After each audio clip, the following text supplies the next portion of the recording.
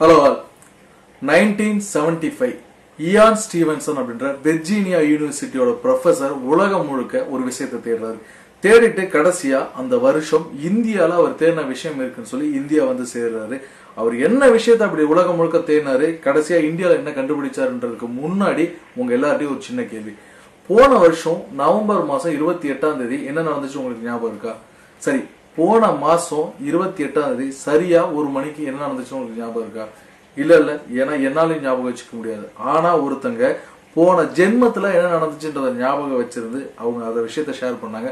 இதை தெரிஞ்சுக்கிறதுக்காக தான் இயான் ஸ்டீவன்சன் உலகம் முழுக்க இந்த விஷயத்தை அதாவது உலகம் முழுக்க வந்துட்டு மறுபிறவின்ற ஆராய்ச்சியில இருந்த இயான் ஸ்டீவன்சன் தன்னோட வாழ்நாட்கள் முழுசையுமே இதுக்காக அர்ப்பணிச்ச Ian Stevenson nineteen seventy five இந்தியாவுக்கு வராங்க. இந்த பெண்ணை தேடி. ஆமா அவங்க ஒரு பெண். அதாவது மிருத்லா சர்மா நைன்டீன் ஃபார்ட்டி ஃபைவ்ல இறந்து திரும்ப நைன்டீன் ஃபார்ட்டி நைன்ல பிறந்த ஒரு பெண் அந்த மிருதுலா சர்மா இந்த மிருதுலா சர்மா முன் ஜென்மத்துல முன்னா அப்படின்ற பேரோட டேராடூன்ல பிறந்திருக்காங்க. அதுக்கப்புறம் நைன்டீன் ஃபார்ட்டி ஃபைவ்ல இறந்து இறந்ததுக்கு அப்புறம் கிட்டத்தட்ட மூன்று வருஷங்களுக்கு பிறகு மறுபடியும் நாசிக்ல ஒரு குடும்பத்துல பிறந்திருக்காங்க.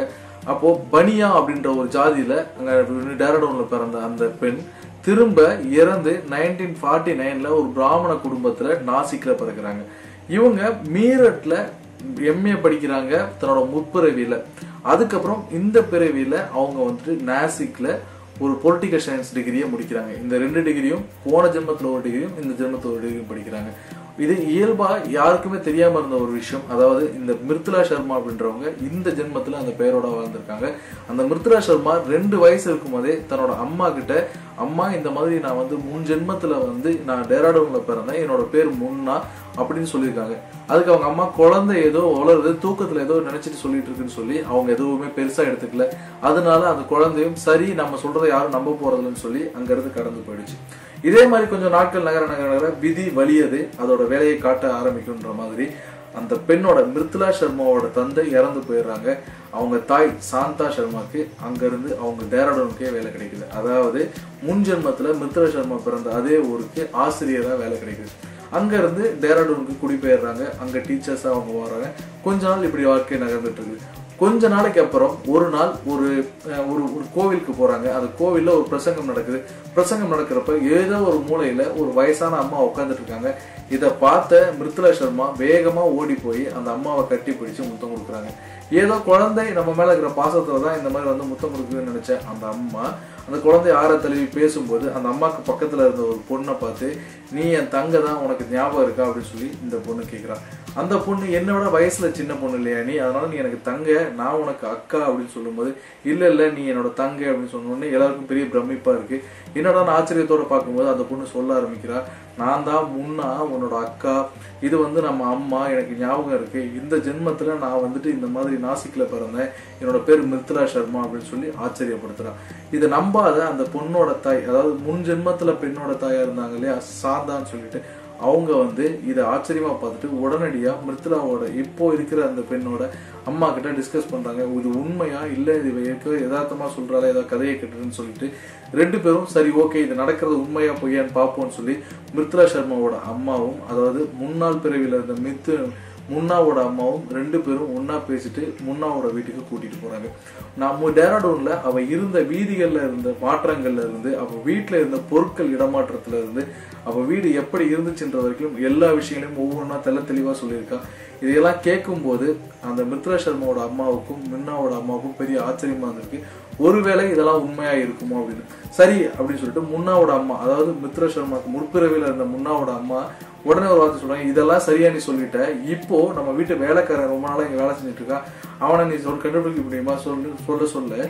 கதவை திறந்துட்டு ஒரு ஆள் உள்ள காய்கறியோட வந்திருக்காரு. உடனடியா இந்த பொண்ணு மிருத்லா சர்மா ஓடி போய் அவர் ஆழத்துலயும் கட்டி பிடிச்சிருக்கா. இது வந்து வேலைக்காரங்க இல்லை என்னோட அப்பா எனக்கு தெரியும் நீங்கள் சும்மா சொல்லி சொன்ன உடனே எல்லாரும் பிரமிப்பாயிட்டாங்க. ஏன்னா உண்மையிலேயே முன்னாவோட அப்பா அவர் தான் மிருத்ரஷமோட முற்பிறவியோட அப்பா. இதையெல்லாம் கேட்டு ஆச்சரியப்பட்டவங்க இங்கேருந்து அந்த பெண் ரெண்டோட ரெண்டு தாயும் சேர்ந்து இனி உண்மையிலேயே நம்ம பெண் தான் சொல்லி ரெண்டு தாயும் அவளை கொண்டாட ஆரம்பிச்சாங்க. விஷயங்கள் தான் கடைசியாக இயான் ஸ்டீவன்சன் காதுகளுக்கு போச்சு. இயான் ஸ்டீவன்சன் காதுகளுக்கு போனதுக்கு அப்புறம் Ian Stevenson nineteen seventy five திரும்ப இந்தியாவுக்கு வந்து அந்த பொண்ணை சோதிக்கணும்னு முடிவு பண்ணுறது அந்த பொண்ணுக்கிட்ட பல கேள்விகள் தொடர்ந்து கேட்கிறாரு. அதாவது மிருத்ரா சர்மா கிட்ட பல கேள்விகள் தொடர்ந்து கேட்கிறாரு. அந்த கேள்விகள் எல்லாமே முன்னாவோட வாழ்க்கையில் வந்து சரியான வார்த்தைகளாகவே இருந்துச்சு. அதாவது முற்பிறவில் அவள் என்ன பேசினா என்ன நடந்துக்கிட்டா எப்படி வாழ்க்கை இருந்துச்சு அவரோட தந்தையார் தாயார் ஊர் இந்த மாதிரி பல விஷயங்களை சரியா சொல்லியிருக்கா. இது மட்டும் இல்ல ஏன் ஸ்டீவன்ஸ்க்கு இன்னொரு கேள்வி இருந்துச்சு? அதாவது முற்பிறவில மச்சங்கள் இருந்தா இப்பிறவிலும் அதே மாதிரி மச்சங்கள் இருக்கும் அந்த மாதிரி இருக்கான்னு சொல்லி முன்னாவோட ம- அதே மாதிரி மித்ராஷம் மதாட்டியும் செக் பண்ணும்போது உண்மையிலேயே அந்த மாதிரி எதுவும் இருக்கு. இது மட்டும் இல்ல நீ எப்படி இறந்து போனேன்னு தெரியுமா அப்படின்னு சொல்லி இந்த ஏன் ஸ்டீவன்சன் கேட்கும்போது எனக்கு நல்லா ஞாபகம் இருந்தது. சின்ன வயசுல நான் வந்து தூங்கிட்டு இருந்தப்போ எனக்கு பெரிய வலி ஏற்பட்டுச்சு. அந்த வலியில யாரோ என்னோட காலை பிடிச்சு இழுத்தா மாதிரி இருந்துச்சு. கொஞ்ச நேரத்துல என்னோட உடல் வந்து இலகுவானதை நான் உணர்ந்தேன். ரொம்ப லேசான உடம்ப அப்படியே நான் மிதக்கிற மாதிரி ஃபீல் பண்ணேன். இது சின்ன வயசுல ரொம்ப ஆழமா என் மனசுக்குள்ள இருந்துச்சு. ஆனா கொஞ்சம் கொஞ்சமா மறைஞ்சு போச்சு அப்படின்னு சொல்லி அந்த பொண்ணு சொல்லியிருக்கான். இதெல்லாம் கேட்ட ஈவன் ஸ்டீவன்சன் உண்மையிலே அதாவது இவரோட தேசத்துல மறுபிறவி அப்படின்றது நம்ப முடியாத ஒரு விஷயம். தன்னோட வாழ்நாள் முழுக்க மறுபிறவிக்காகவே ஆராய்ச்சி செஞ்சுட்டு இருந்த ஏன் ஸ்டீவன்சன் கடைசியா சக்சஸ் ஆன ஒரு விஷயத்த சொன்னாரு. இந்த பெண் மிருத்ரா சர்மா உண்மையிலே தன்னோட முற்பிறவியில் நடந்த எல்லாத்தையும் சொல்றா. இதுவோ இவருக்கு மறுஜென்மம் அப்படின்றது உண்மை அப்படின்ற ஒரு விஷயத்த சொன்னாங்க.